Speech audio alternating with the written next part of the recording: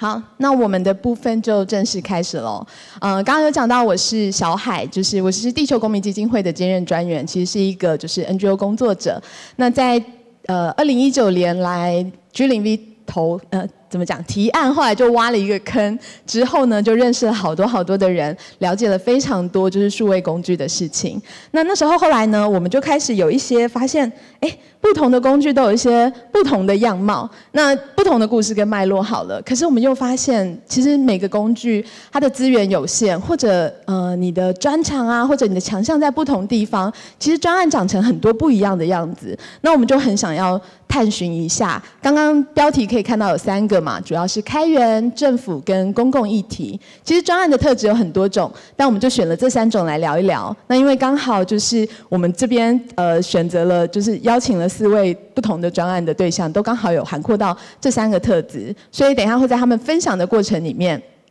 一方面让大家认识一下他们的就是专案，另外一方面也看一下他们怎么看待这些事情。那我们其实本来啊称这个 panel 叫。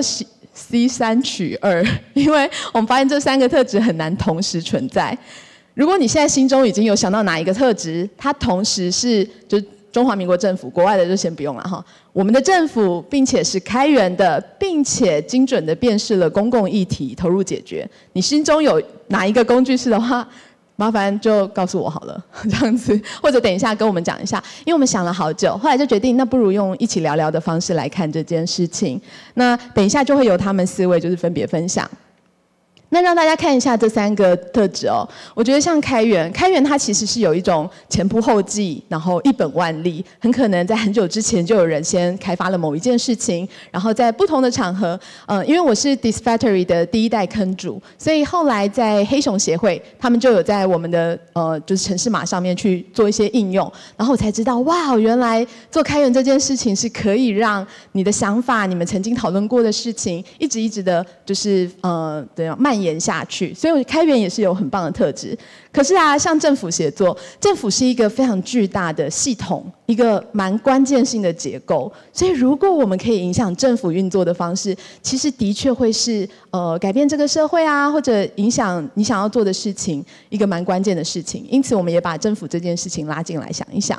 那公共议题主要也是因为，哦，我相信我们大家都在这边，也是因为很关心公共，然后不同的社会、不同的族群或者社群都有它的需求，我们能不能看见？那个需求，辨识那些他们到底需要的是什么，然后我们打造一些工具来营应。所以这三个特质其实各有利弊，就是有利也有弊嘛，就会带来一些包袱也好像是其实跟政府合作真的是蛮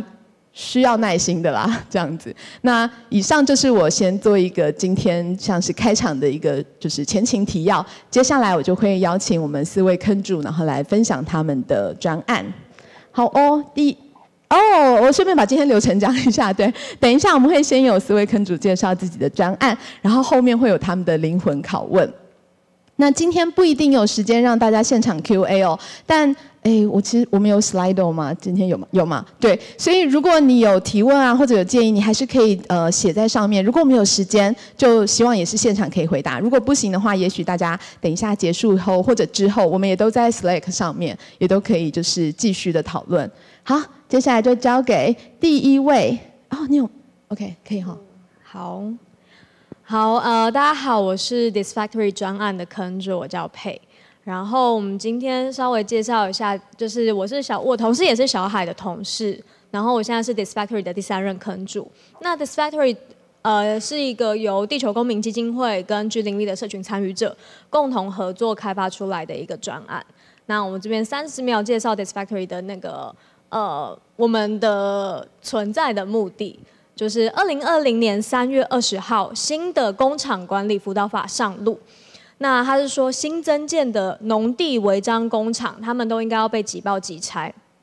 但是这些工厂在哪里？他们呃要怎么被抓出来？怎么拆？谁去拆？这些呃，Disfactory 的任务就是要把这些新的，甚至是正在新建中的这些工厂找出来，那并且作为检举人的后盾，那要求政府看见农地的问题，还有一些中小企业上面呃在营运上面的困境。那现行制就我我这边简单哎哎呀，我这边简单介绍一下，就是 Disfactory 整个专案的缘起。那因为现行制度出了一些问题，包含说，呃，有一些民意代表他们会为违章工厂撑腰，所以检举人在检举他们的时候，其实内心是蛮惧怕的。那同时他又需要具名检举，那就造成了检举人他不敢检举嘛。那另外，呃，政府的查处效率差，那你常常跟政府检举之后，你就收不到案件的后续情况。那再加上官方版的检举页面真的是有够难用，所以这就造成了检举人不想检举。所以我们就想说，如果有一个民间版的官方呃民间版的检举网站，是不是就可以解决这个问题？那至于官方版的检举网页有多难用，就是这边让可以让大家玩玩看，就是请这个是台中市政府的页面，我们可以可不可以在三十秒内找到违章工厂的检举页面？好。这个大家先找找看，然后我继续，你们就 找找找看。那我这边介绍一下 Disfactory 从二零一九年这个专案成立之后，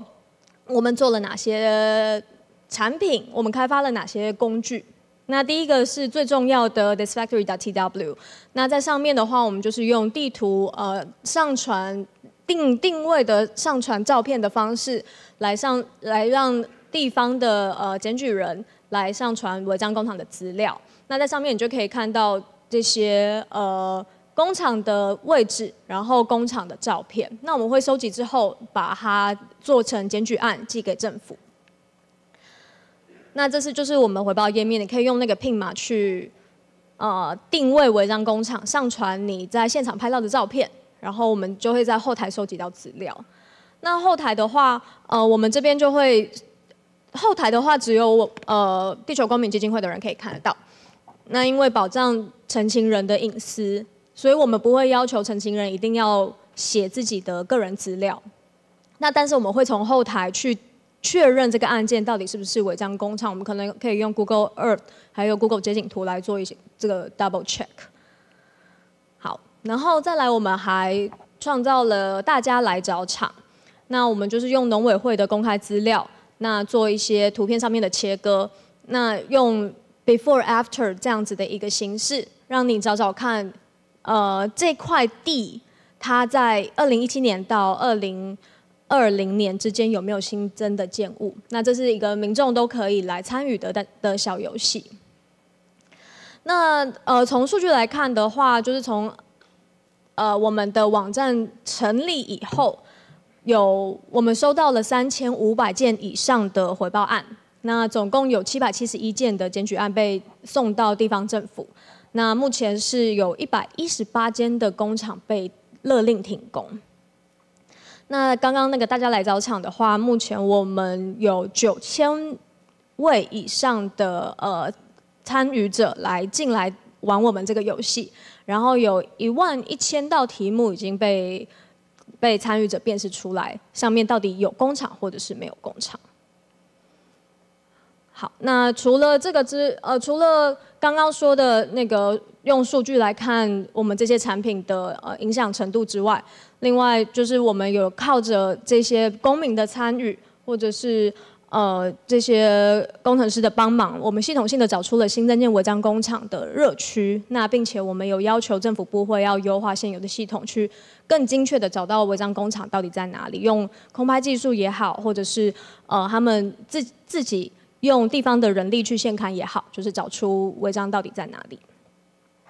好，那呃我这边来公布一下答案。大家刚刚找到的那个检举页面，官方版的检举页面，它居然是在。工商及税务未登记工厂管理辅导里面，就是这是根本找不到的东西嘛，因为它也它不是在违章建物的那个选项里面，它是在工商及税务里面，到底谁找得到？好，所以回来谈我们就是在这里面的 C 三取二，就是刚刚大家已经还蛮清楚的听到说，我们是有针对一个很明确的。公共的议题，那就是农地上面的违章工厂、土地违规的这样子的乱象，我们要去纠正它。那有同时，我们也是一个环保团体，所以我们对于这样子公共的议题非常在意。那所以我们的呃专案的话，就会是落点在同时同时有公共议题跟开源这两项特质里面。那开源这个，我们等一下另外谈。那为什么我们没有跟政府协作？主要是因为呃，刚刚有提到说检举人的资料，它是有被。政府泄露出去的，这是检举人一直以来的担忧，而且检举人是不信任政府的。那我们的专案在二零一九年成立的时候，我们当时跟政府的关系也是非常糟糕的，就是我们跟政府是互相不信任的。我们不信任他们可以好好的去抓出违章工厂，那他们也觉得我们都在乱抱怨啊，或者是根本没有实质的证据，就来跟他们要求东要求西的，所以基本上是没办法跟他们沟通的。所以我们就是，呃，从我们自己现有的公共议题的资讯，然后并且找到在乎这题的人，然后并且就是号召民众一起来参与，提升我们的影响力。好，然后我看一下我这一页又要讲什么，好没有？那呃，其实其实刚刚这个 C 三取二啊。我们也不是说这个专案一刚开始我们就知道我们要怎么选，而是会觉得这个应该是一个可能我们可以一直放在心上的事情。那知道说我在下哪些决定的时候，比如说我在选取开源跟公共议题这两个特性的时候，我把我的资源投入在这两个特性的时候，我可能牺牲掉的就是跟政府这边的合作。那我可能在跟政府沟通，或者是需要官方资料的时候，我就会很困难，就是它会是一个资源的投放跟牺牲啦。那哪些牺牲你是可以接受的？那来去做这样子的一个调整。那通常就是坑主，尤其是我并不是一个呃本身学科科技的嘛，那所以我在。我我一定是先把我的注意力是放在公共议题上面，而且我希望大家一起来参与我这样子的一个公共议题。那所以当当时我们想的都是需求，以及说使用的使用我们要怎么找到利害关系人啊，然后当时的政治情势是怎么样。所以我们我们那时候这是呃 Sandra 我们的设计师当时帮我们写的系统架构，你可以看到我们这边。列了非常非常多的许愿清单，包含说我们希望检举人可以呃快速的在网站上面上传照片，然后标记地点，然后我们还要知道所有的检举资料，我们还要有一些进度标记的功能。就是我常常看到这个份清单，我都觉得我们怎么那么难搞。那但是呃这些都是以议题的需求为优先。那在这个过程中，有很多的贵人，就是 Dispactory 的参与者啊，贵人进来跟我们讲说，开源开源有多重要。那呃，我们要把我们的原始码开源，我们要开会议记录，公开的会议记录，然后以及我们要开 GitHub。那其实 GitHub 是我们专案开始两个月后才启用的，所以我们当初真的是奔着公共议题而去的。呃，并不是，而开源都是就是一路上有非常多在意开源这件事情的人参与进来，然后呃贡献进来。那我真的就不唱名了，就是因为我们参与的人真的是非常非常多。我如果就是有唱名没唱到的话，我真的会很拍死。好，那所以在这样子的情况下，他。虽然我们同时有公共议题跟开源这两个特质，但是这两个特质其实是有点稍稍失衡的。因为我们的开源就是我们一定都是把原始码做一些开源的，那只是我们对我来说这是比较被动的开源，而不是主动的去去想象说我们的专案有没有可能去串接其他的专案，或是做一些其他的呃衔接。那呃，因为我们的议题并不是说非常的大众，我们特别是专注在农地上面的违章工厂，甚至它并不是农地上面所有的土地违规问题我们都处理，所以它其实是一个非常线索。我们就是要专门 for 我们这个目的的话，其他的像开源的特质或者是跟政府协力的这个特质，就会稍微有一点牺牲。那所以后来现在。直到就是公共议题被某种程度上的做了一些解决之后，我们现在才意识到说，其实开源好像也不只是公开原始码的问题，有包含说，呃，就是回去去想象说开源，我们这个专案在开源上面的难难处，因为我们是一个需要重视资料隐私的开源专案，那我们在这方面做的事情就是，呃，像是澄清人的资料，我们是绝对不会公开的，也不会挂 API 的。所以，我们算是我们并不是所有的原始码都开源，我们也不是所有资料都开源，也不是所有资料都能够给政府来做参考。那我们也会想说，我们到底都多多开源？我们够开源吗？就是其实我们在专案的进行中，还是不断的有收到像这样子的疑问，因为呃，大家知道我们刚我们是回报违章工厂嘛。那回报这件事情，其实是很多民众参与公共议题的第一步。所以现在，呃，这个世界上有非常多，尤其台湾有非常多的呃回报，用回报的方式来解决事情的地图，像是呃前一阵子大家买不到蛋蛋蛋支援地图，然后呃这个是口罩地图，跟行人安全回报地图。然后跟黑熊刚刚提到的黑熊出没地图，黑熊其实是我们比较有在开源上面互相沟通的的专案啦。那但是其实有这么多的开源地图，我们算是我们真的算是重复造轮子。哎呀，我我按到别的东西。那所以嗯，而且也造成说我们其实真的是专门 for 违章工厂，然后后人真的很难。利用我们的东西，我们的东西都是已经真真的很专门 for 违章工厂所以在开源这方面，我们虽然有公开原始码，那但是呃，它还是某种程度上没办法更积极的去跟其他的专案做扣连，对，所以我觉得呃，接下来可以等一下，也许可以跟大家聊一下，就是在开源上面，我们可能有什么一些其他方面，除了开放原始码之外的尝试。好哦，谢谢佩莲在分享就是 Disfactory 的部分。那因为我们这边呃台上这几位都算也是三四年以上的参与者了，所以其实我们自己的专案或者相关的讨论，在 Slack 的 channel 或者是一些短讲里面，或者之前的 Sami 都还是可以找到，包含 Disfactory 的部分其实是有蛮多分享的。所以大家如果要了解更多细节的话，也可以往就是呃 G 零 V 的一些资料里面去找。那接下来的话，我们就邀请 Sandra 进行她的。分享的部分，他是我在挖坑第一次来跳坑挖坑的时候，他就跳坑的呃贡献者。然后那也是他第一次参加 G 零 V，所以他并不知道发生了什么事，就是就这样。然后我们就成为了五年，这个坑已经五年了，五年的朋友。然后后来他自己也挖了好多坑，这样。好，麻烦你。呃，好，这样这样是有声音，有，好好。好，大家好，我是 Sandra。然后其实我自己本身是个设计师，我是做服务设计的。那当初一开始跟 G 零 D 的渊源也是从 This Factory 这个专案开始。嗯，然后可是我今天不是要分享 This Factory 这个专案了，我是要分享另外一个我自己呃当初是跟数位发展哎数发布数位发展部对一起合作的一个案子。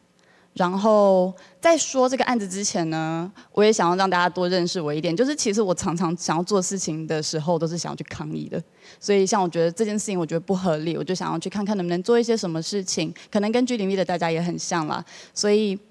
那个时候我们要开发的是一个公托的申请系统，示范的示范的，还没有真的要用。可是想要开发一个示范的公托系统，然后我那个时候就看，我就真的觉得现在。申请公托的方式真的是有够难用，我都缴这么多税金了，为什么还要用这样子的东西？其实好像台湾的税金跟其他国家比起来也没有那么多了，但也想要证明就是事情好像不用这么不合理，所以我做了，当初就决定要去做这个专案。嗯，稍微让大家看一下，那个时候这个公托系统呢，也谢谢 This Factory 了。那个时候说到开源，我们抄了 This Factory 的地图拿去用，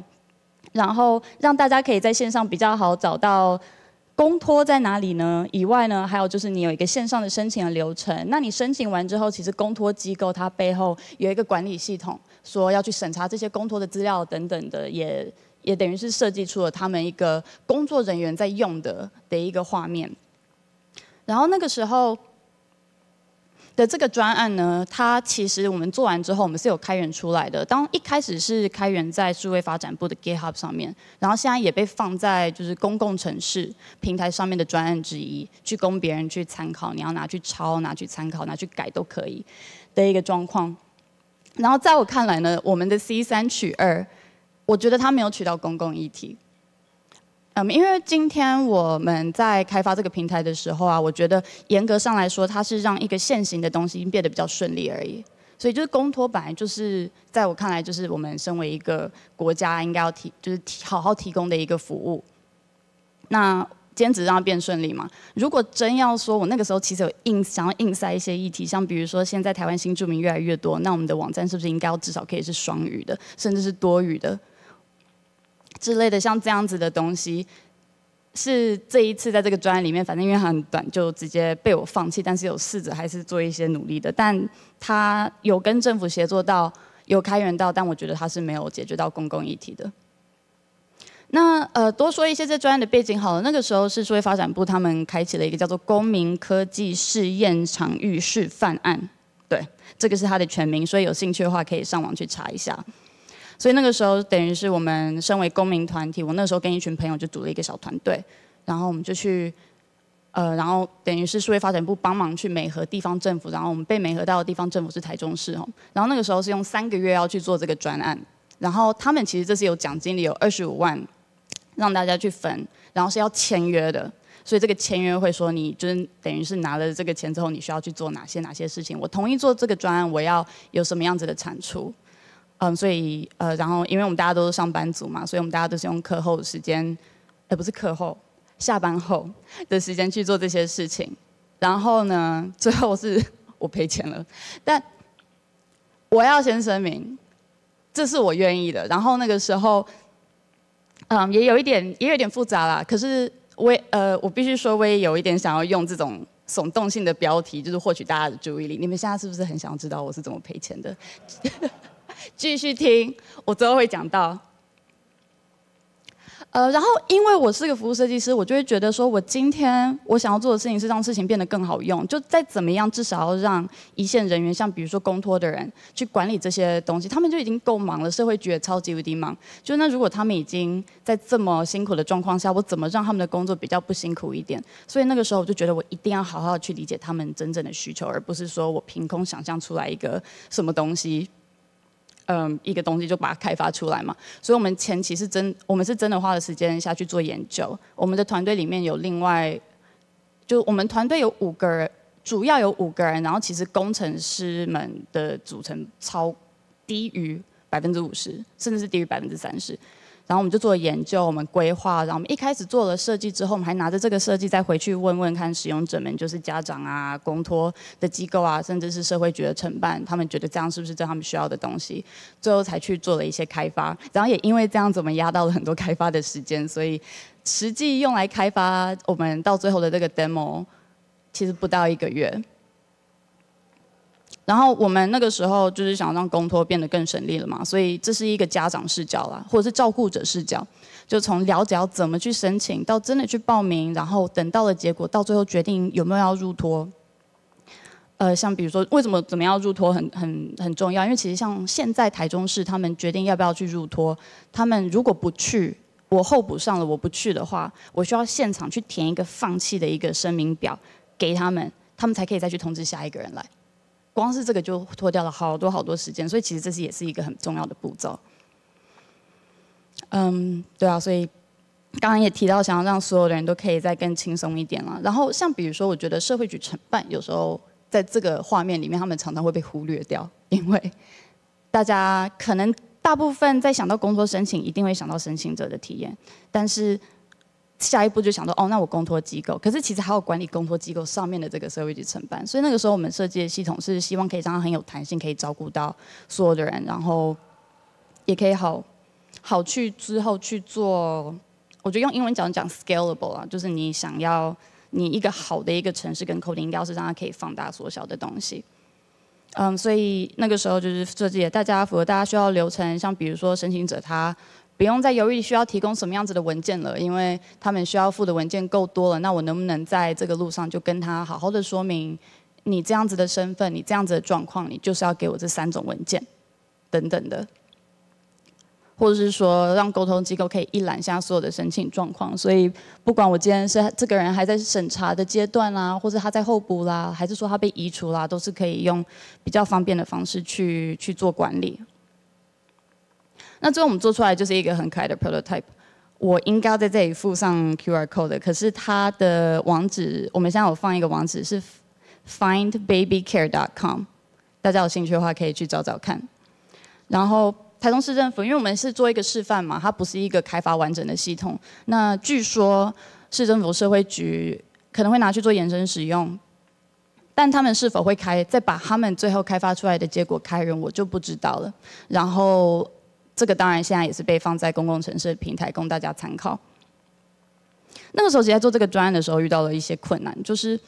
嗯，我如果从政府协作这一端下去看的话，其实对政府他们公部门来说，他们蛮需要在短时间、低成本的看到成果。所以，像比如说，他们会希望在三个月就看到东西，然后这个东西是越完整越好，最好是可以直接用。我还记得那个时候在开，呃，结束之后在开记者会的时候，有有有一个长官直接过来问说：“哎，那他什么时候可以开始用？”然后我就想说，我不知道怎么跟你讲，说这是一个示范的 prototype。嗯，不过他现在大概长得这样子，对啊，所以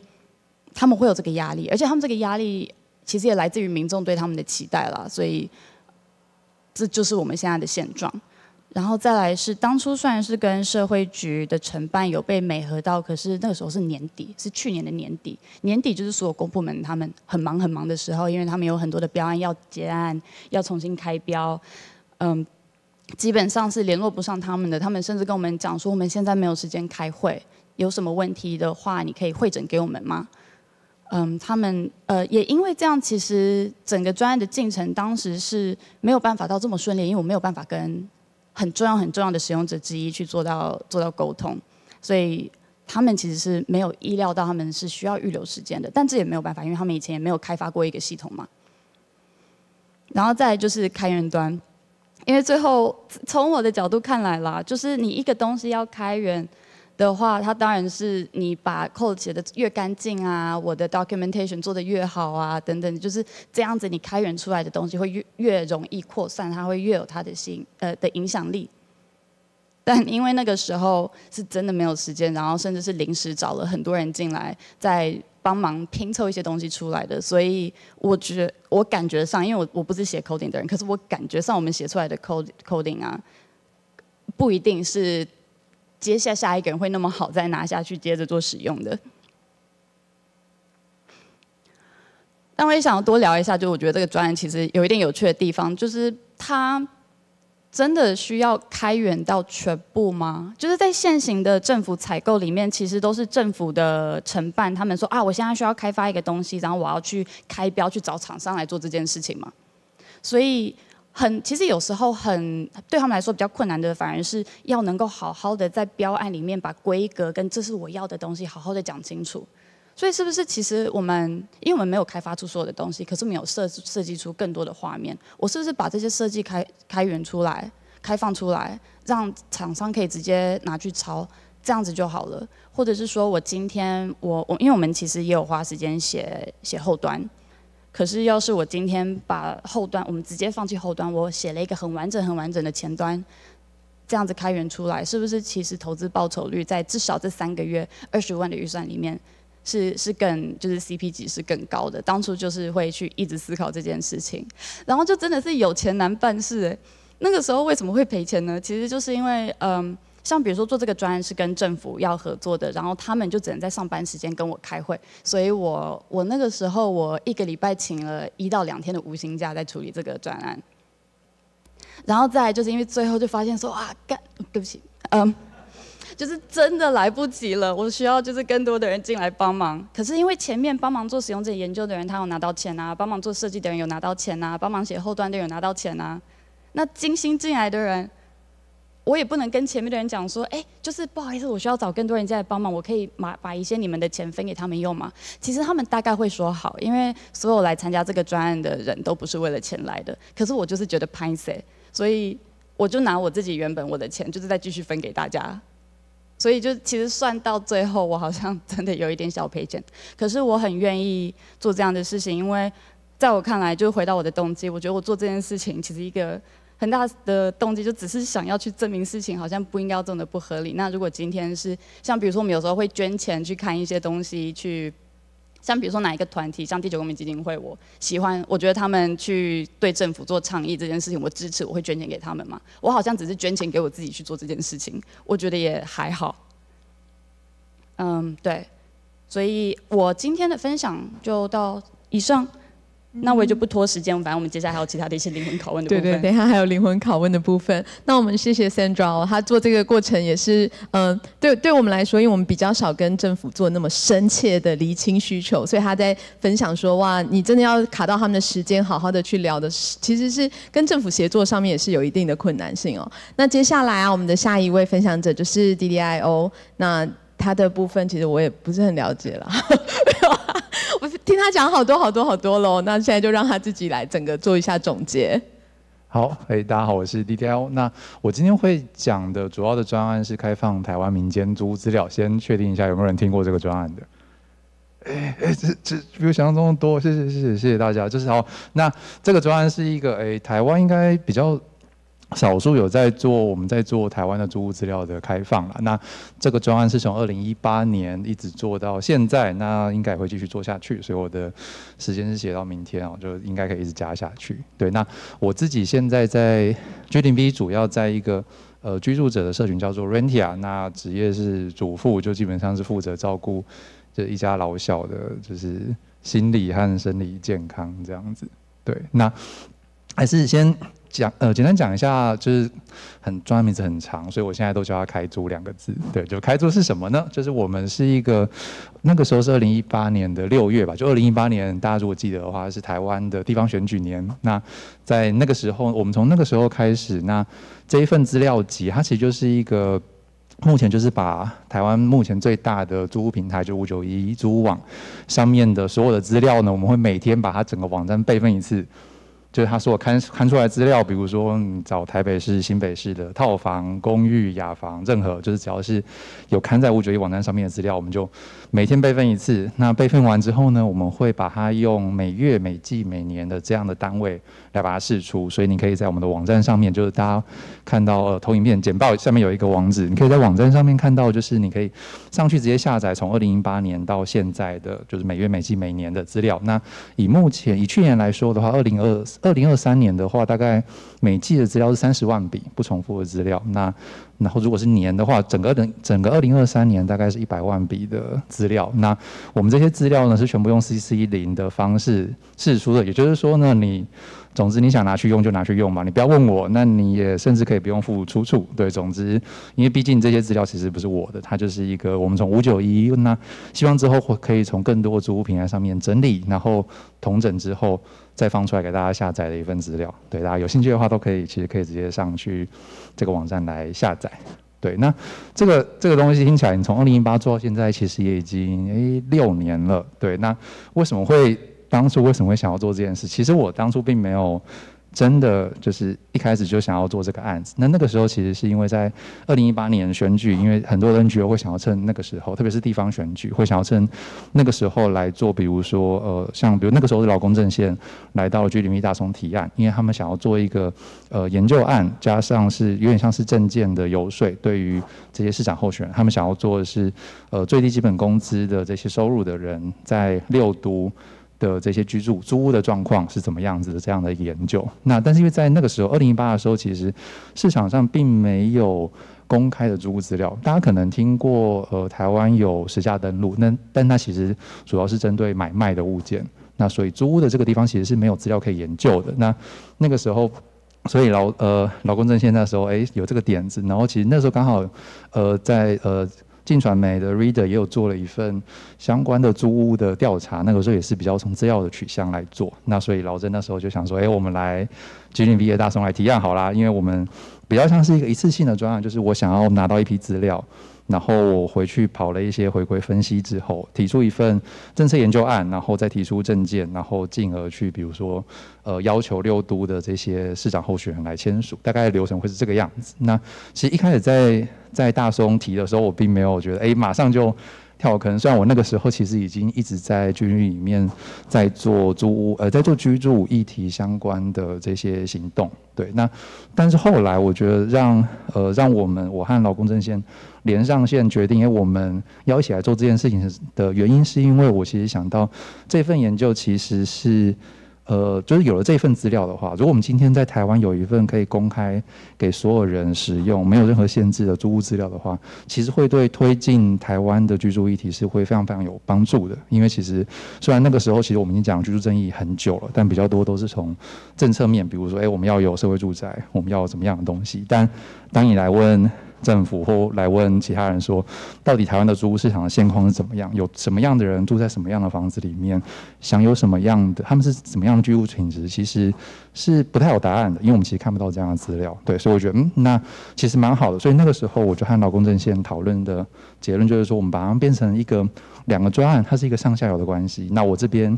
比较像是我负责。呃，处理爬虫的城市，处理开放资料，我把资料整理得非常干净之后，那呃，劳工证线就可以拿来当做下游，拿这个资料来去使用。那我们的关系其实也不只是上下游这种供应商的概念，它其实劳工证线其实也是这个支城市的。最主要的测试者，因为大家如果写程式就会知道，我们程式出来一定会有问题，资料出来可能会有一些有问题的地方。那其实劳工征信在里面花了非常多力气帮忙去看，哎，到底今天这些资料怎么样去呃处理它，怎么样去清理它，才是真的对后续的分析有帮助的。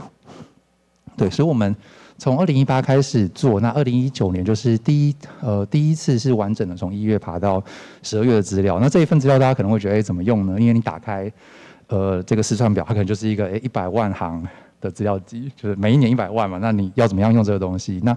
诶，我这边举一个最简单，这是算是叙述统计的用法。所以像我前阵子我们就做了拿二零一九和二零二三的资料来去比，我们就只是把县市加上物件类型，物件类型就是比如说套房、雅房、公寓这些，把它们两个交集起来之后来看。二零一九和二零二三的整个租屋市场有什么样的变化？那字有点小，所以我这边就直接念。大家有兴趣的话，其实可以直接拿资料下来玩。那我觉得最有趣的变化就是，其实你可以很明显的发现，整个租屋市场啊，从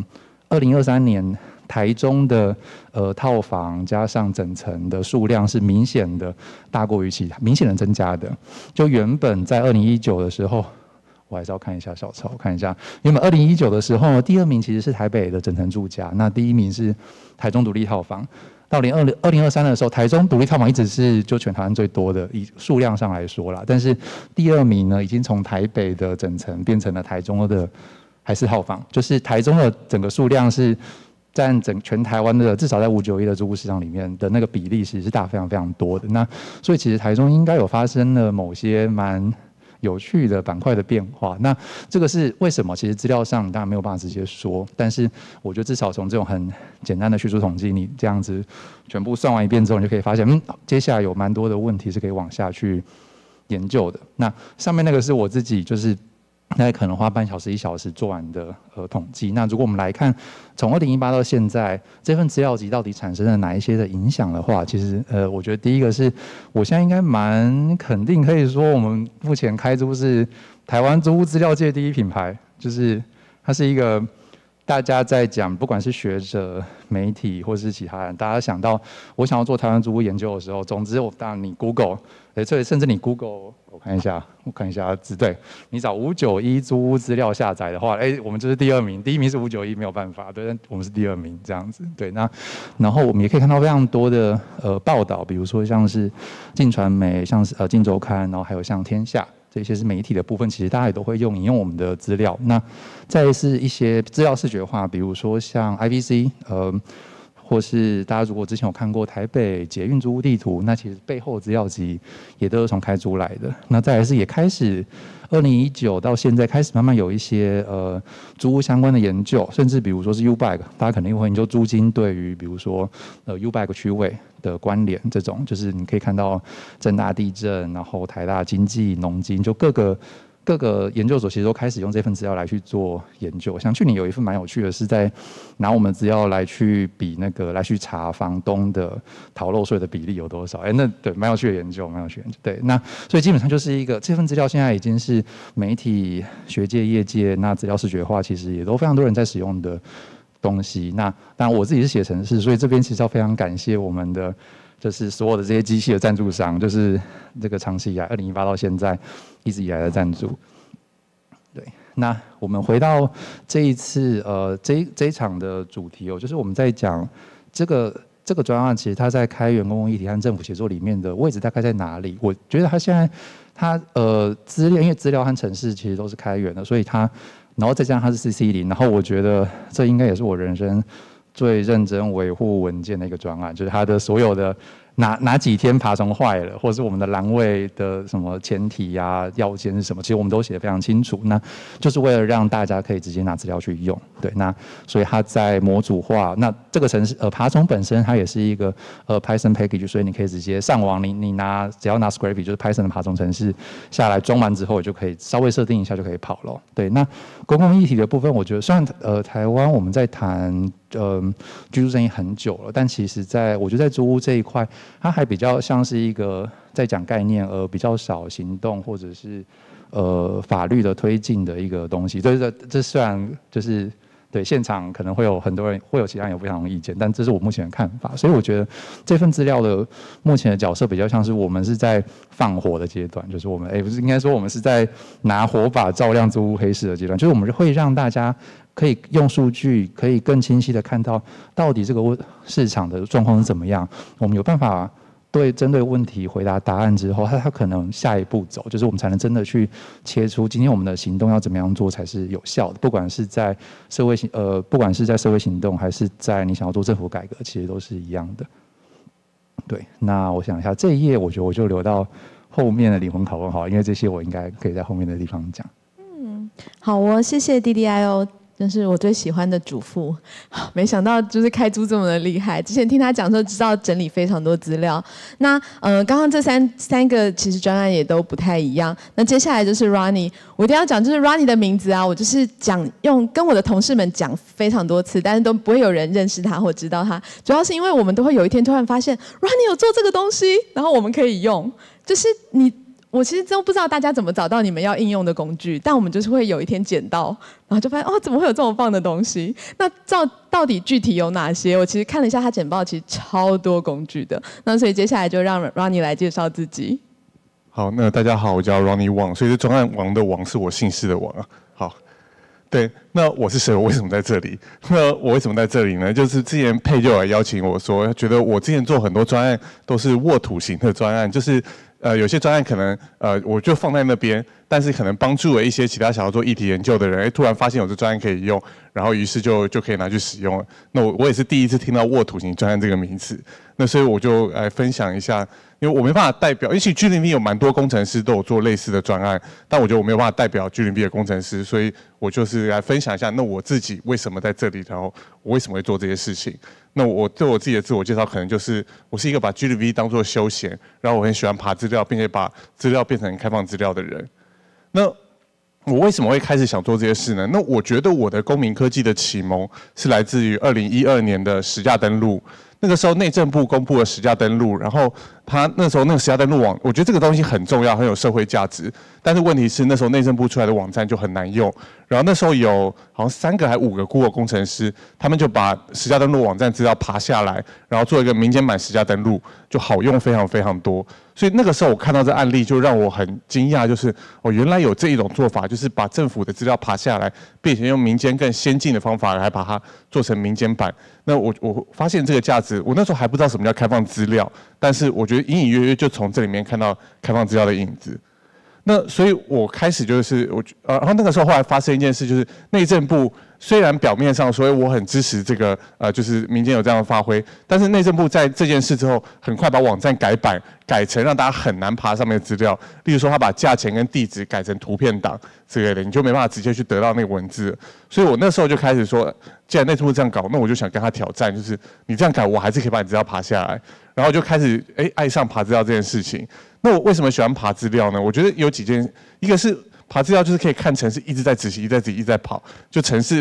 不停地跑，然后并且得到的资料越来越多，就有那种成就感在。而且就是去试着挑战说，因为我自己本身是一个全端工程师，我自己会做网站，那我就可以从我自己做网站的心境去反推说，他们当网站怎么做的，那我可以怎么反向去回到得到他原来资料库的资料，然后以及就是。晚上睡觉的时候，那个爬虫可以继续跑，所以就会觉得，哎，早上起来是发现爬到资料变更多，就也有那种成就感又更强，就我连睡觉都还有价值这样，所以我就就很喜欢写那种可以持续运作的爬虫。所以我目前写了蛮多爬虫，像都运作超过十年了。例如说 PPT 人气啊、公司资料或标案，其实都到现在还持续在每天在爬在更新。那专案怎么开始的？我觉得就是我很喜欢从资料来看这个世界是怎么运作的。就当我有一个问题疑惑的时候，我就会去想想看，我有没有资料可以帮助我解决这个疑惑。那我自己也过去也相信说，如果这个世界资料或者是各式各样东西能够开放透明，那这世界会更好，因为它会减少更多的不就是不公平，因为大家可能在资讯上都是对等的。那所以我这边举一些我做专案的例子，是为什么我会起心动念想做这些专案。那在二零一一年的时候，因为塑化剂事件，然后那时候统一好像是什么 LP 九九还是什么那个，反正里面有有塑化剂。然后以及统一那时候发生好几件事情，例如说还有呃那时候好像是一周刊好有报道一个统一的那个家族纠纷，然后因为这件事情，所以 Seven Eleven 那一期的一周刊他就说因为物流出问题，所以我们所有杂志都有到货，只有一周刊没有到货，就统一就利用这种形式去打压言论。就我觉得那时候统一集团那几年发生很多事情，让我觉得哎这个集团是个很可怕的集团。那我想试着来抵制它。就是我再也不要买同一东西。其实我一直坚坚持到现在，除了某一年为了买张学友演唱会以外，我继续 iPhone 买，除此以外我都还没有就是进去 Seven 过。对，那我那时候就想说，我要怎么去抵制统一集团？但什么是统一集团？所以我就开始去研究什么是统一集团。然后我就发现到说，哎，经济部商业司的资料里面有一个各公司的法人董监事资料，就例如说统一超商，它是由统一企业来担任法人董监事。那这个资料就是一个，哎，好像可以帮助我知道什么是集团资料。所以我那个时候就开始研究，哎，那我来试试看，我把那个经济部商业司的所有的公司资料都爬下来。就那时候还没有打包档可以做，所以我那时候用爬资料爬的，所以全部爬下来，我花了大概三个月时间全爬，一秒钟爬一家公一个统一编号，然后把它从零零零零爬到九九九九九这样，就三个月时间把它爬完。然后所以我就做出资料后，然后我就利用一些现有的一些资料视觉化套件。就做出了公司关系图，所以我只要输入一个统一编号，然后我就可以从往外看个几层，知道说它的关系公司有什么。所以透过这样子一个方法，就大概可以了解一个企业的脉络长什么样子。所以那个时候也有发生那个台东美丽湾事件的时候，大家也想要知道，哎，美丽湾集团有包含什么？所以那时候发现，哎，美丽华、美丽信这些其实都是跟美 跟美丽湾其实是同一个集团的。所以这样子一个资料视觉化就可以帮助大家更了解一些集团的一些关系。那另外一个专案是我某一天看到一个跟豪宅有关的新闻，就是哎，那有一个就很多豪宅，因为那个时候台北市政府有推那个就是开放空间奖励，就是只要你愿意把你的豪宅的中庭一部分变成开放空间，然后你就可以把你就可以得到多点容积奖励。你可能本来房子只能盖十十层楼，就政府会允许你可以盖到十二层楼，所以对建商来讲就可以多赚一点钱，因为它可以多卖了两栋两，比如多卖很多户房子。但是那些豪宅盖完后，他可能就刻意把这开放空间告示牌用树丛盖起来，让大家不知道它的中庭是开放空间，所以就很多开放空间就是建商赚到了那个奖励，但是其实那些东西人民是用不到的。所以我就开始去研究说，哎，那哪些资料可以帮助我们找到这些开放空间？那找到之后，我就可以，大家可以去开趴。所以这边是开放空间，要开那个户外黑客时候，欢迎大家来这边开这些。所以我就想去找这样这样资料。所以我就从这个资料开始研究说，哎，建筑执照是长什么样子？然后建筑执照或者是我们的土地资料长什么样子？哪里可以找到？所以我对从这个过程中，我就开始认识了很多呃台湾的土地资料的架构什么样子。所以我也因此而爬了很多的土地资料下来。然后在另外一个专案的案例，是因为一一碗飞鱼卵让我做一个专案。就是我有一天我去一家居酒屋吃饭，十一月的时候，然后他端上了一盘飞鱼卵上来当小菜，然后我就问说：，哎，现在十一月，我自己知道的是台湾的飞鱼飞鱼季是五月，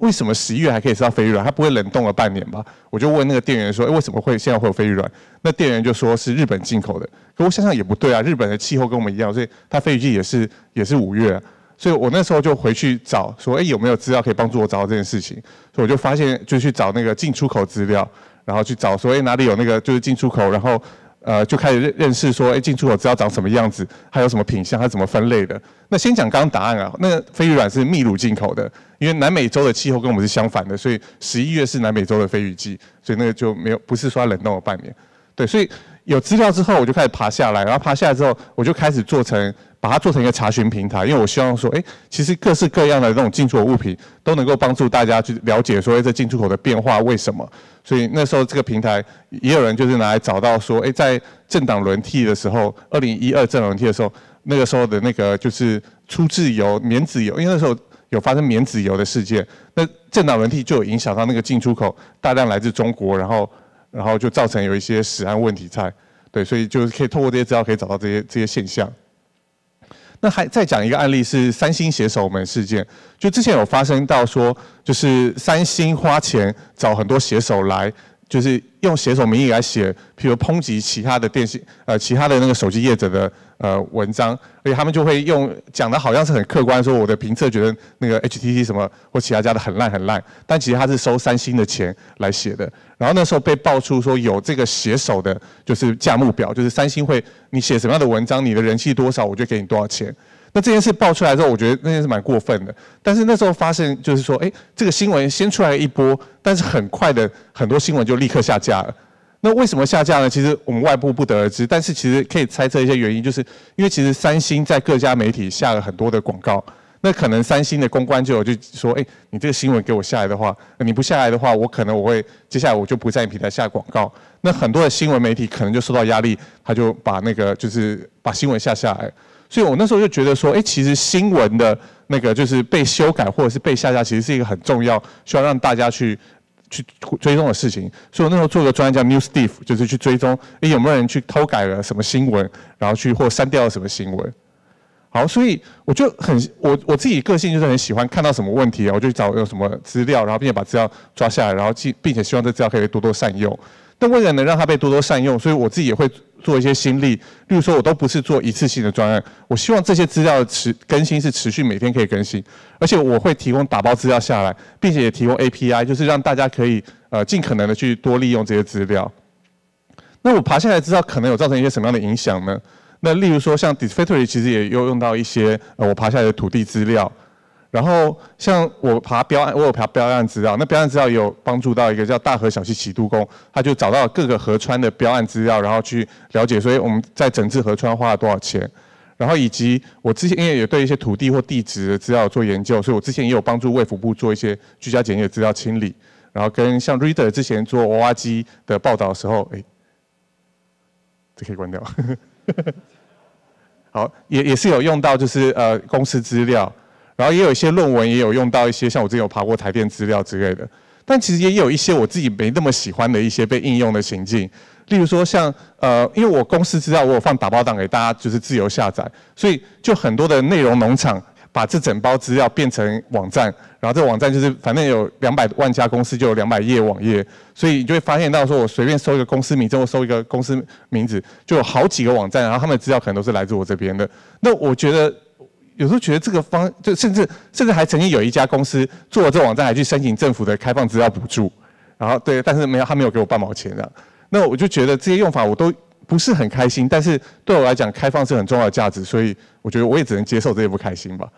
那我自己可能也因此也慢慢有一些对开放资料。呃，开放透明就让世界更好，这件事可能有些疑惑。例如说，我本来以为说，哎，资料只要出来，大家资料是客观的，有客观的东西就会引导到比较正向的结果。但是后来发现，就算客观的资料，大家都还是可以就是诠释出完全不一样的一些结论出来，可以继续炒大家的价。然后再来就是，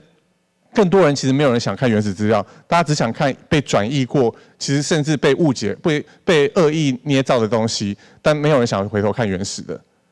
那我觉得我现在的目标就是我自己现在有开公司，那我希望就是我把我这个技能，把我这种开放的精神，能够用公司更多人力来持续把它发挥，然后并且能够开放更多的资料。然后我也希望说，因为刚刚我觉得我资料如果只是就是放在那边，我也不知道谁被谁得到。但是我也希望更多能够成为更多 NGO 的后后盾，因为我知道很多 NGO 都很有理念。那如果有理念的 NGO 能够背后有更多的资料可以使用，那我觉得就可以让这些资料有更多的正面的价值。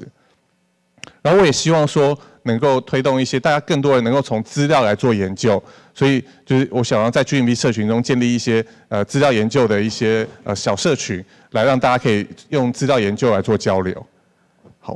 好，哦，谢谢 Ronnie。那他一开始刚刚讲那个沃土型专案，就是那个字是我在很多次的讨论里面，后来就是先用这个方式形容，因为呃，在在昨天我有一个短讲，其实也就是这五年来我在 G 零 V 参与整个挖坑，然后看所有的坑的时候，心中充满了非常多的疑问跟冲击。那我是一个就是 NGO 工作者嘛，所以真的很多事情我是不不理解，像。Ronnie 有超多东西是我不知道还有东西在那里的，我们都是 somehow Google 到，有时候也不一定 Google 得到。然后我就在想说，为什么会有人做了那么棒的工具单，却不一定要就是推广它，或者例如说，哎，你们是做像刚刚就是以就是开租来说好了，他对于土地土地或者是居住正义的 NGO，其实是相对有有。作用的，但他们到底知不知道有这个工具？那那时候我们讨论讨论，就发现这些存在着这些专案，就像沃土一样，它是已经非常有养分的一个就是所在。那如果像我们有一些路径、有一些目的的 NGO 可以站到这片土地上的话，我们其实会很有力量的往前走。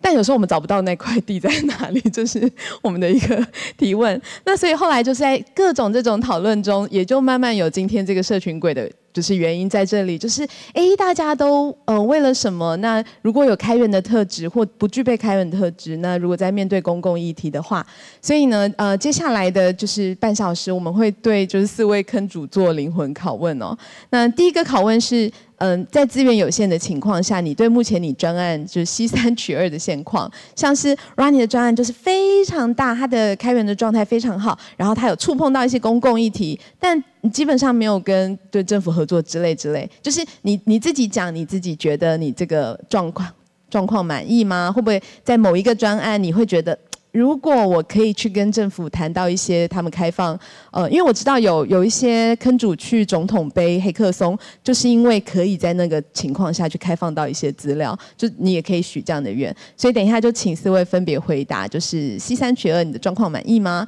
然后以及最直接的嘛，就是如果满意或不满意，如果我现在就是给你资源，全力包含哦某可能某一位呃现任的部长，他就是很很。热爱就是参与公民科技这样子，所以他愿意说政府跟你有一些配合，这样也可以。让你许愿的话会是什么情况？那我们就就从我旁边这样过去好了，好吗？那就从你开始，你有自己的麦克风吧。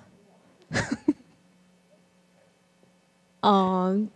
资源有限的情况下，因为其实假设以 this factory 的目标来说，我们就是要找到违章工厂，然后并且督促政府真的有去查违章工厂。那就现有的这个主要目标来说，我们是有达到的，所以我会说还蛮满意的。那嗯，不过因为就是随着从二零一九年到现在，我们专我们专案进行了四年多。那违章工厂的的这个情况也有所改变，包含说新增建的违章工厂，它成长的速度已经降了一半了。那然后我们的专案，我们的工具也持续有人在被使用，所以我们专案到了一个呃有点是收尾，然后而且可能跟政府的的关系也有点改变的这样子的情况下，我觉得确实可以往。嗯，开源或者是政府合作协力这一端去做一些推进。那所以假设说，如果现在给我资源的话，哦，然后刚刚刚刚其实也没有，刚刚有提到说，我们在这个专案里面，呃，来来去去的人很多，那不一定是工程师才能进来我们这个专案。那如果你真的只是单纯想要来聊天，来聊一些环境议题，甚至不用一定是违章工厂相关的，因为像之前我们就有一个是对于景观、对于地理资讯非常有兴趣的人，也有来跟我们聊天。就是你只要想聊天，你都可以来参加我们这个专案。所以，嗯，在这个专案里面，我呃工程师们或者是参与者们、贡献者们，我们也对于。这整件违章工厂的事情的的公共讨论有进行进展了非常多，那所以我觉得现在如果给我资源的话，我可能就会开始去想说，我们的 factory 走了这么一大段路，那我们这里面有什么样子的价值可以炸出来，让可能扣连到其他的专案，或者是呃再修正一点我们自己的专案，让我们的专案变得。更也许其他专案更可以参考，这是一条路径，会是我觉得如果有资源的话，我会想我会有兴趣的。那再来就是其实我们的东西，呃，对于民众来说很好用，可是政府的问题还是持续存在，就是他们的网站还是不好用。那在他们现在态度有所松动的情况下，我们到底能不能再推进他们，让他们把他们他们的网站变得好用？他们愿不愿意做这件事情？如果我有权利去指使政府，一定要把他们的网站变得好用，然后不要让他呃澄清人的资料被随意的泄露出去。的话，这其实是最好的，因为这本来就是政府应该要做的事情，就是向民众收集回报资料，然后自己去监督他们目前查处到哪间违章工厂，这本来就是他们自己要做的事情。所以这个这条路也是我想做的事情嘛。那如果我现在资源都有的话，这两条路我当然都是很贪心的都要。好哦，谢谢佩。那再来就，你明明哦，你没有自己的麦克风哦，你们俩共用一个。啊，这么太不好意思，不好意思，一无取思，那那就麻烦你们了。那我觉得开开租这边是，我觉得满不满意的话算堪用。堪用的意思是说，它因为开租的最最呃最主要的目标是我们希望让这份资料集呢，是你想要做租研究的人，你就可以下载来，然后直接去使用。所以我觉得在这个程度上，我们有很清楚的文件，然后我们让大家下载很方便。那它打开就是一个试算表，所以我觉得使用上目前都还算可以用。那我会说堪用的原因，是因为其实维护机器人是还蛮需要成本的。就像那个就五九一四月的时候，又突然变聪明了，所以我的爬虫其实现在爬的有点慢，就是它爬的速度变慢了，我被限流，大概概念是这样。对，所以那像这种情况，我就需要再花时间再去。像 Rony 讲的，我们就需要花时间去逆向思考一下该怎么样处理这件事情。对，所以就我觉得在这个专案的公车系数，就公车系数就是说，如果我今天走在路上被车撞的话，就没有人维护这个专案的意思，就是几个人被车撞，这个专案还不会到，大概是这样的概念。对，所以就是这个专案公车系数还是有点有点低啦。对，那所以这算是我觉得资源上比较不够的部分。对，那如果再讲说，如果我今天有。任何类的资源的话，我会放在哪里？我自己会觉得，其实对我来说，就是我会想要让这个这一份资料是更容易的，可以被大家拿去使用的。因为虽然说我们现在讲，我刚刚讲说，真的讲你只要只要下载完就可以用，但是因为五九一的资料，它其实并不是一个嗯大家想象中的租屋的市场的概况，因为它的五九一其实记录的是一个。呃，刊登者、房东或是中介的行为的资料，意思是说，他会因为五九一网站的设计，比如说，哎，我看一份广，看一个物件要多少钱，那我要加强它的广告的话，我要再加码多少钱？会因为这些东西，再加上市场的每个地区的租屋市场的特性，所以它会有一些，你会看到，比如说，它可能会有同一个房子看了五篇之类的这种事情。那这种事情，其实你会就需会需要去。更谨慎的清理资料，或者你要在全市资料的时候要有一些呃比较小心的地方。那我觉得这些比较基础的资料研究，其实目前是没有人在处理的。所以我觉得在大家在但每一个人在做这一类研究的时候，其实都会碰到这些问题。所以我觉得如果我们可以把这些基础建设再做得好一点的话，其实在资料的呈现或是研究上面会可以更便利。对，那我觉得我刚才一直都没有提到政府的部分。对，那我这边补充一下，就是因为其实政府在这件事情上面，当然。然，你要说最直觉上最简单的解法，当然就是那就叫政府来做租实价登录就结束啦，我就完全不用做这件事情。那但是因为现在的就是台湾的租市场是一个黑市，那市场研究我记得应该是六成到八成吧的租屋都是在黑市底下，意思就是说政府根本不知道这六成到八成的租屋，虽然有这么多人在租房子，但是政府根本不知道他们在哪里。意思就是说，当今天政府想要下任何管制和决策的时候，他看到的资料其实是非常呃偏的。那这个时候，所以你要让他来做实价登录，其实我觉得技术技术上也是有蛮多的困难。那其实我们在和一些相关的单位承办在聊，所以要不要直那你就直接拿我们的爬虫程式去放，就是政府自己爬嘛。那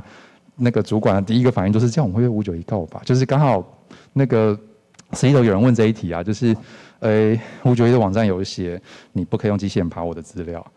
虽然我的资料是公开在网络上面，所有的人所有人都能看的，但是他的条文这样子写。那总之我们爬了，那大家就对，就是台湾的，就是毕竟政府单位通常都比较小心，他们不想要被。媒体骂不想要被反对党骂，所以他们只要做任何哎好像侵犯民间商业利益的事情，他们其实就会会退一步。那所以我觉得在这方面，其实我们东西要放到政府里面，不就他们只是用资料，我觉得可能都会有蛮多的顾虑在里面的。对，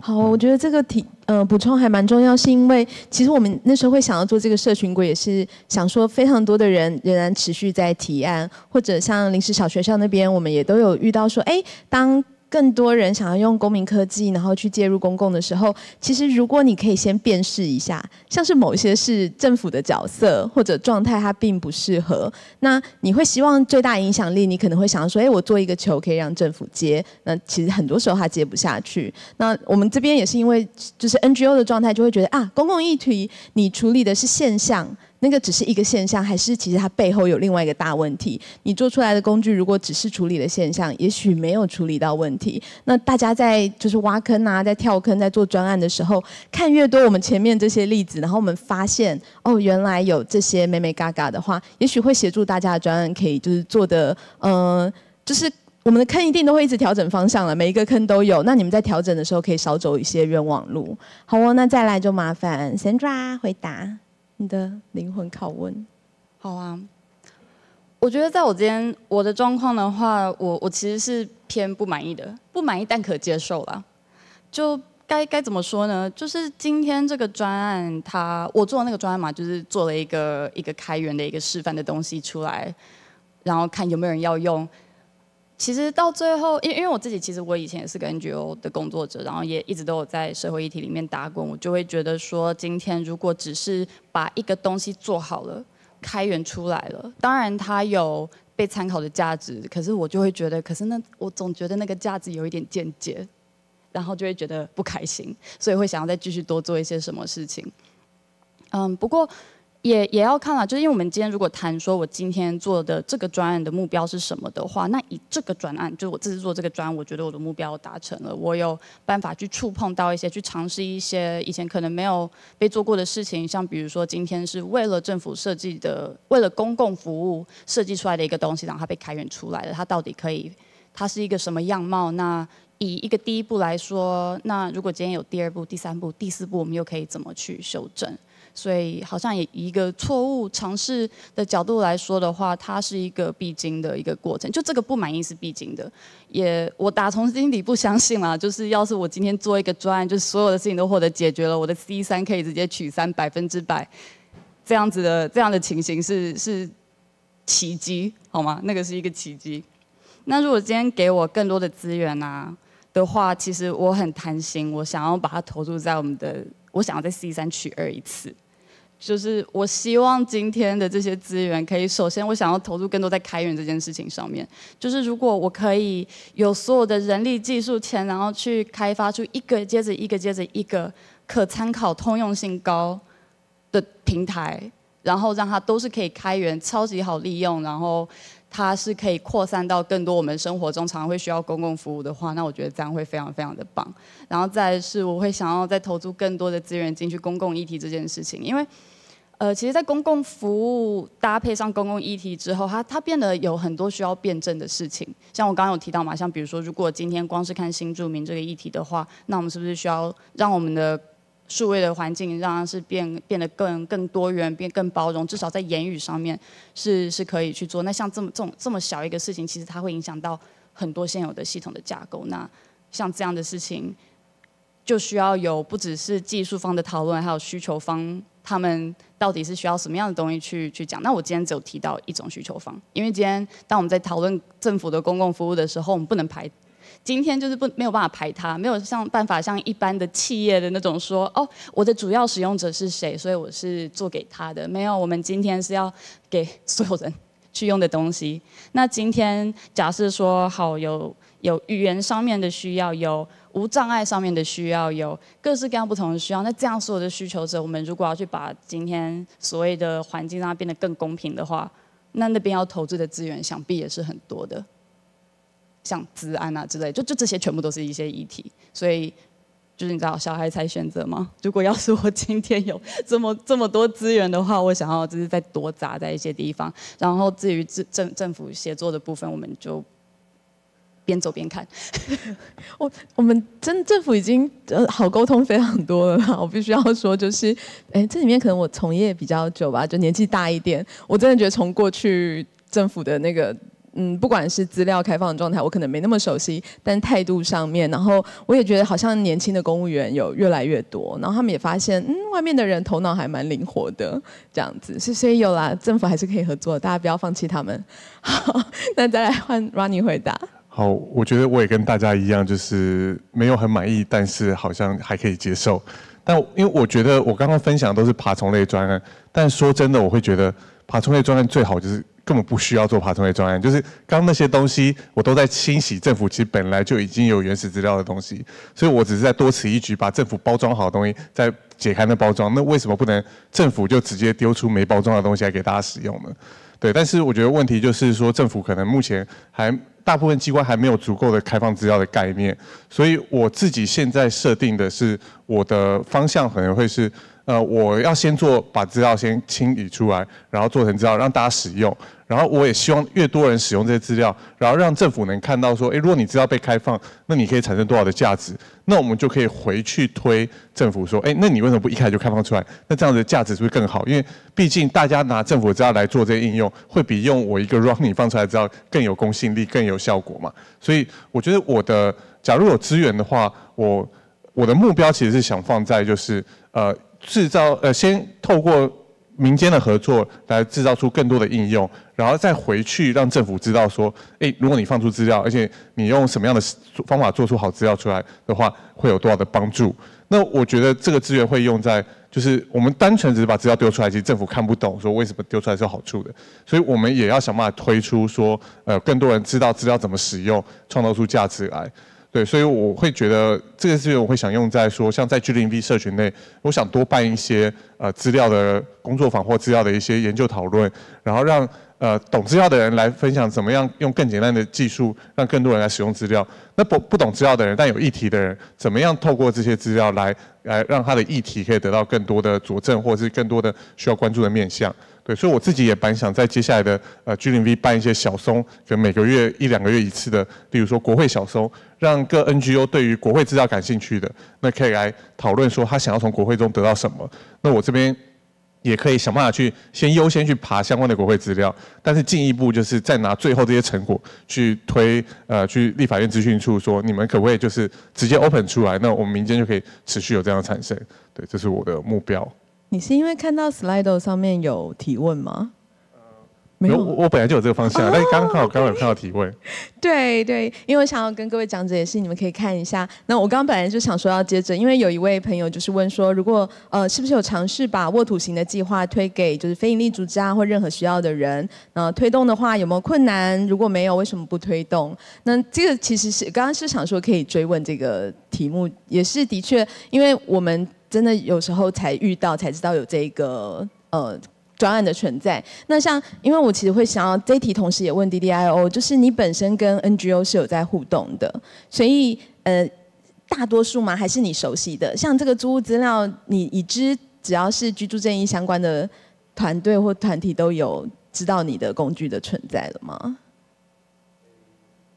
喂喂，慢慢有。对，就是当然不是，我觉得我没有那么认真推广，但我觉得就是碰真就是对碰到的时候会说有这份资料可以拿去用，嗯嗯嗯，对。然后因为刚刚 Ronnie 就讲说可以在 G 零 V 办这种就是国会小松活什么的话，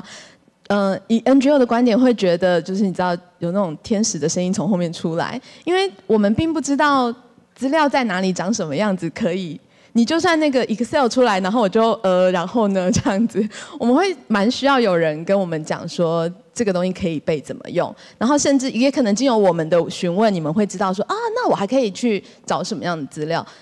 场合必须要先存在。那刚刚那个呃配友说，就是我们小聚其实蛮长时候是在做一些别的讨论，没有一直都在开发。就是场合要先存在，我们才能听见哦，原来你这样子看事情，我这样子需要。那我一直就是来跳坑之后，就发现呃，数位科技跟 NGO 或者解决公共的意识之间，好像没有办法用方法论，就是你有这个问题就用这个方法。没有那么单纯，所以如果有创造这样的空间的话，会是真的就是很好的一件事情。那我们再先回到一下刚刚的简报里面，因为我们还有第二题的灵魂拷问。然后呃，就是没有再回答的，就是伙伴也可以看一下 slide，等下有没有你可以回答的。好哦，第二题是，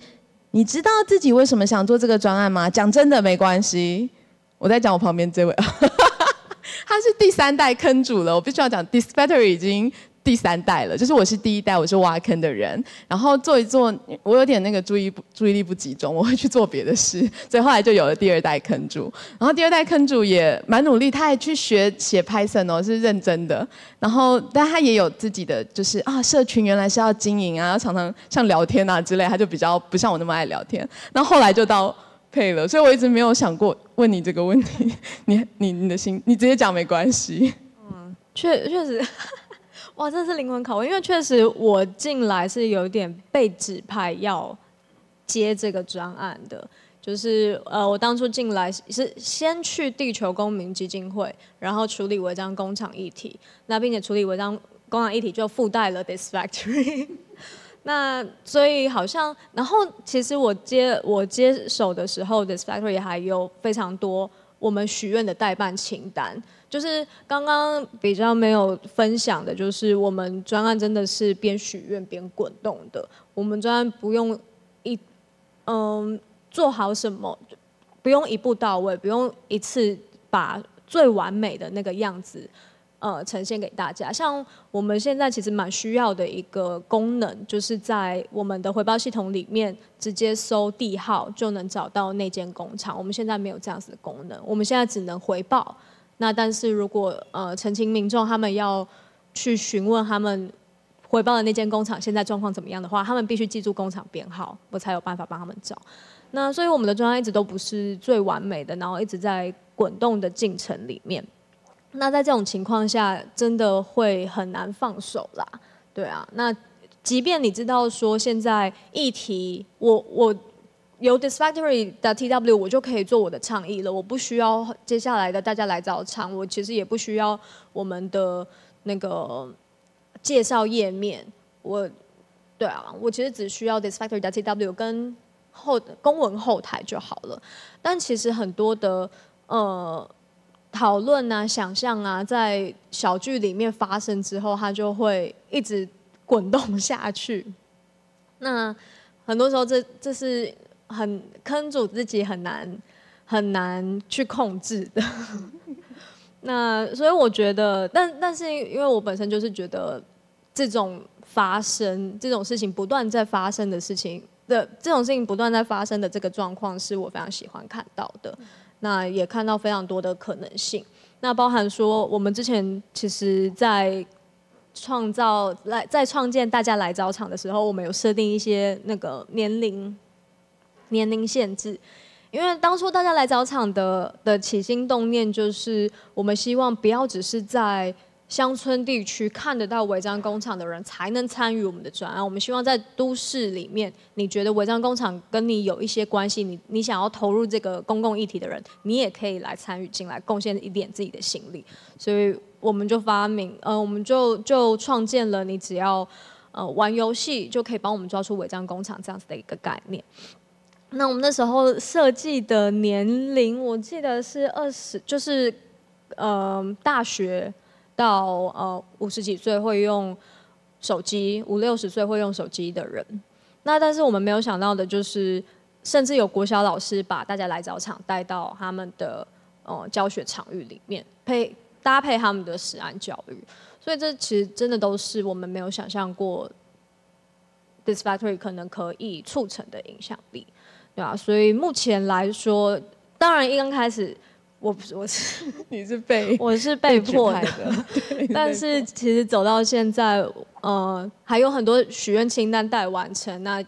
一方面是一个这样子的一个使命感，那再来是在这个小聚的社群里面看到很多不可不同的可能性，那甚至是不一定是在违章工厂里面，甚至是呃。我我从来也没想过违章工厂会跟黑熊通报产生一些关系，因为对啊，就可以就就会发现说违章工厂不是只存在台湾的西部的农地上面。我们在解决这个问题的过程中，这些工具啊，这些我们思考的方式，这些策略都有可能再去做一些延伸应用。那只是我们现在还没有，我们我们之前都是比较专注在我们自己的公共议题上面，这些东西还没有被系统化的整理出来。大概是这样。我谢谢。那我也顺便，如果现场是有 NGO 工作者的话，如果你是参与社群或者开源文化的协作的话，开放性、活力、可能性，你都要能够去适应。因为呃，我知道很多 NGO 工作者可能对自己的那个方向跟想法非常的呃用力，非常的用力。所以，但是开源社群是一个充满了各种 奇妙的，就像他他进就是配进来以后，就哦，原来有这种可能性。那这个必须要是有。这样的态度可能才有办法好好的在这边有发生一些就是合作。好，那换 D D L。好，这题我前面一开始当然是因为我就是有受邀请，而且我觉得可能会对对这个议题就租议题有贡献嘛。但我觉得后面我觉得这几年比较像是在发现大家都可以怎么样用这个资料。我觉得像像最近最觉得最有趣的应该就是刚才有提到那个去年台大经济的硕论吧，就是在。拿租屋资料去，他们是去对那个呃财会呃不是是对报税的资料，然后来去看说到底有多少房都没有没有诚实报税的这件事情，我觉得是一开始的确就我们一开始在做这个题目的时候，其实并没有特别去想说会被怎么用，可能常见的就会是呃什么房价分析啊这种租呃租金分析这样的东西，但后面我觉得大家开始拿这个东西去做。很多我觉得跟租议题有关，然后但是而且其实没有那么容易做到的事情的时候，对我来说都是一种，哎，这是我的确有达到我原本想要的那个目标，就是我们希望让，就是居住议题或租屋议题，它不只是在只是一个性质的描述，就大家都知道很严重，那到底严重的意思是什么？严重在哪里？我觉得开始有这些东西之后，我们真的在在倡议或是在做社会运动上面，我们才有才有可能再往下。一步去勾起更大的、更大的这些同理和连接。嗯，好，我谢谢 D D I O。那换 Sandra 回答。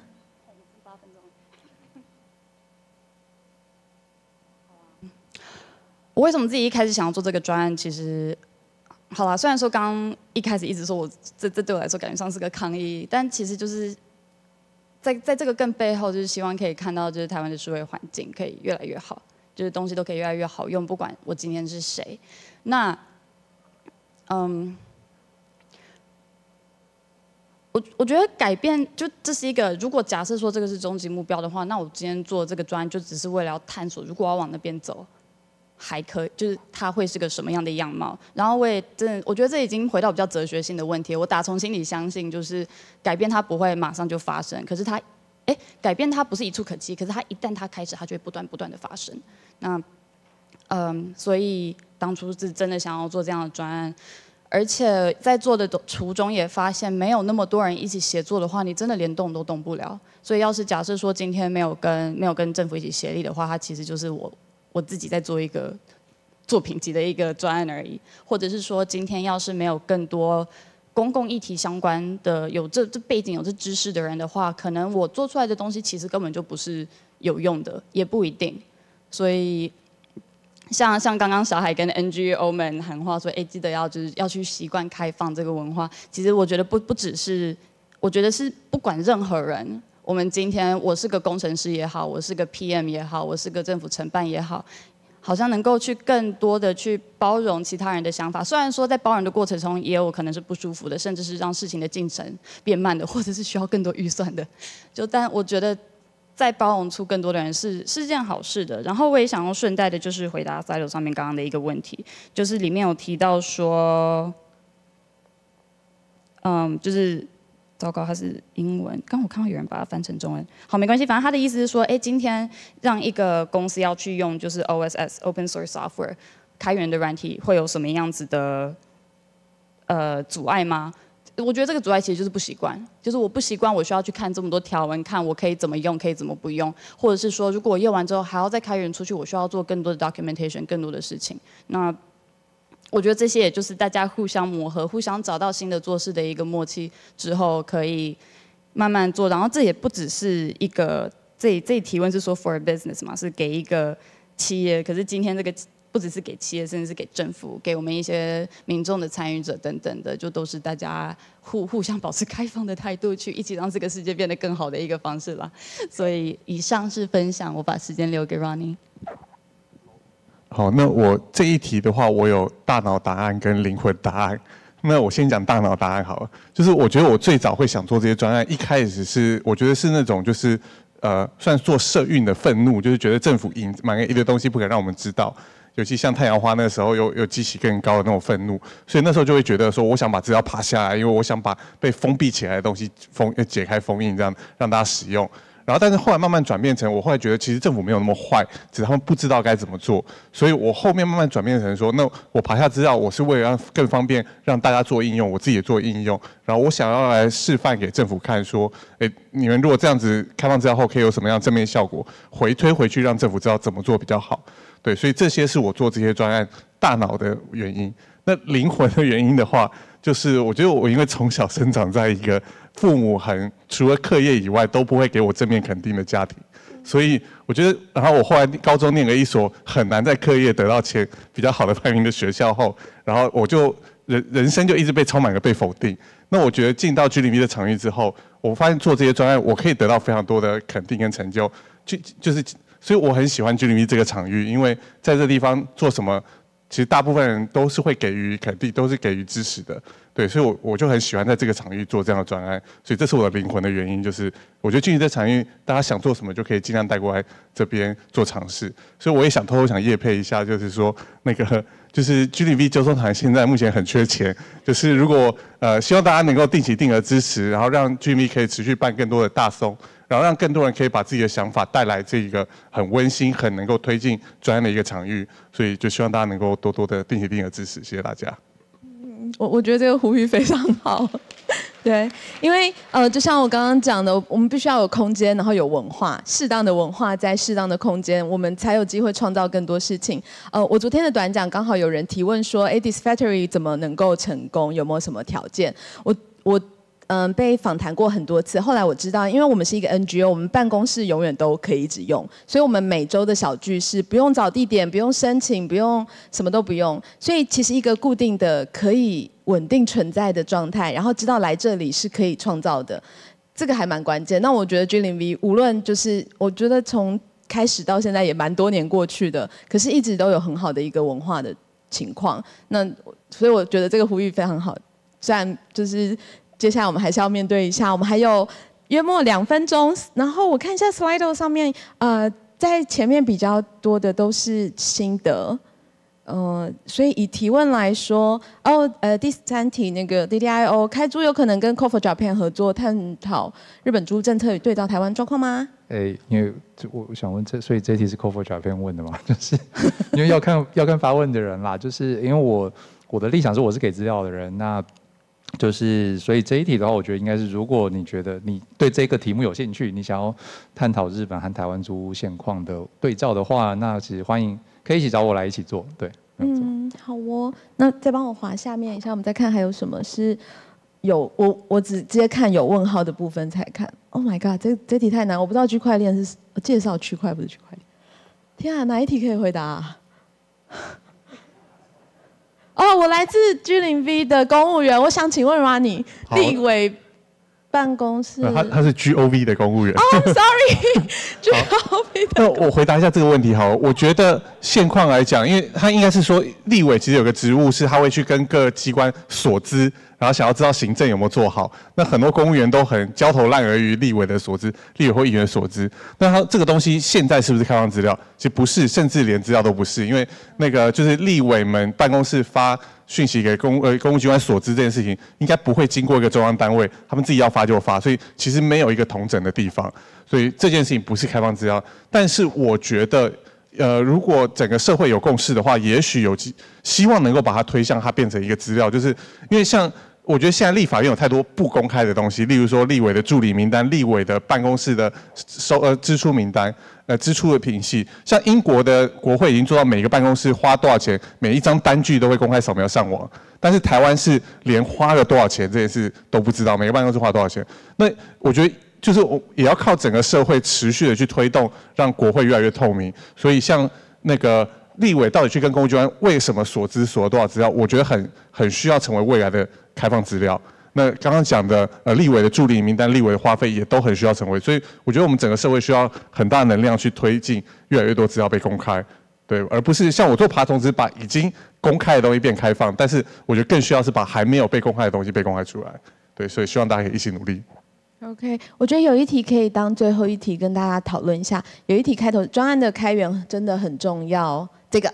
对，嗯，有越来越多的影子啊，就是我就就是 template 或者典范啊，就是可以让大家去知道。但能不能可能可以对应的开源 template 是否有专有集中整理的介绍区块？其实这提问可能是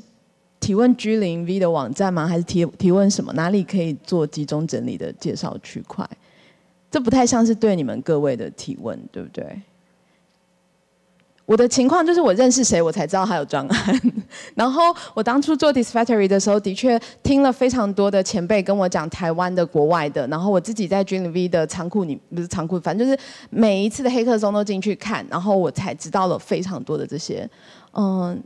以这个情况来看，我先问 Running。好，那我我先呼应其中一部分，好，就是其实 G 零 V 这十二年来，有很多人都想要做个专案，叫做 G 零 V Hub 或 G 零 V Project，就是整理 G 零 V 所有的有被提案，然后缺什么样的人力，可以没合人力。那这件事情已经做了可能十几个版本了，那每个版本其实都失败。对，所以呃，我觉得这个坑很重要的地方是，它可能要解决这个问题，不是要技术，就是不是缺一个很重一个系统让大家来登录，而是说有没有人能够帮忙把这些专案被转化成更多人可以认识的专案怎么使用的。所以可能更需要的人力是 TST，就是做纯文字的人力，或者是做一些介绍的人力。对，所以其实也蛮希望就是大家能够多。关注或者是多了解 G V 专案，并且帮忙转化成更多人可以认识的，那我觉得这件事情可能就可以透过这个机制达成。对对，的确是听来听起来服务设计是这个方面吗？我我也不是确定服务设计是做什么的，